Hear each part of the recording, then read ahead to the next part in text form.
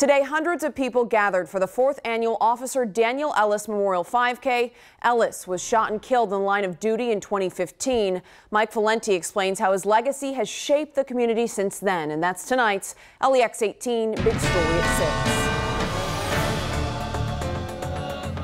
6. The Officer Daniel Ellis Memorial 5K is known as one of Richmond's most popular and widely attended races. But to many, this event feels more like an intimate gathering. When I came this morning, I just felt like I was going to the fourth family reunion. Katie Ellis DeSimone says Richmond has long felt like home. She and Daniel were transplants to the city, but they both graduated from EKU, started their family here, and were active in their church. But in November of 2015, Officer Ellis was ambushed while searching for a robbery suspect.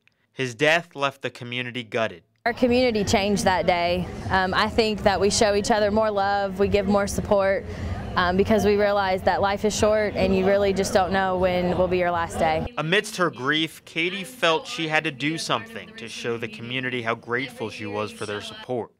She didn't know it at the time, but Katie says starting the Daniel Ellis Foundation has helped her heal. You can't control tragedy, you don't know when it's going to affect you, but you can control how you react to it and um, who you decide to be afterward.